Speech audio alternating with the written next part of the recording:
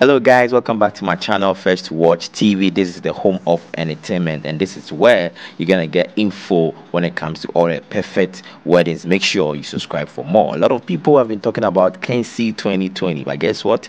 Today I decided to bring you a video of the wedding of Nana Echan, yes, Otumfuo Osei daughter and Atiku Mohammed Abubakar, the son of the former vice president of Nigeria. Yes, it was a beautiful wedding, and this wedding took place about four years ago. That's 2016 at the Kempinski Hotel in Accra, and the traditional wedding also took place in Kumasi, the Manhyia Palace. Yes, and guess what?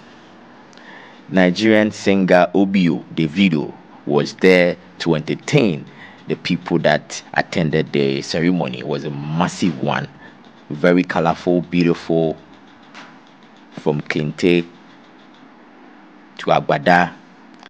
And yes, that's a picture of the two fathers, Otumfuo Osei and the former vice president of Nigeria, Atiku Abubakar. Davido performing hit songs at the ceremony. And guess what? The former first lady of the Republic of Ghana, Nana Agyeman Rawlings was also present. Let's check out what happened at the wedding.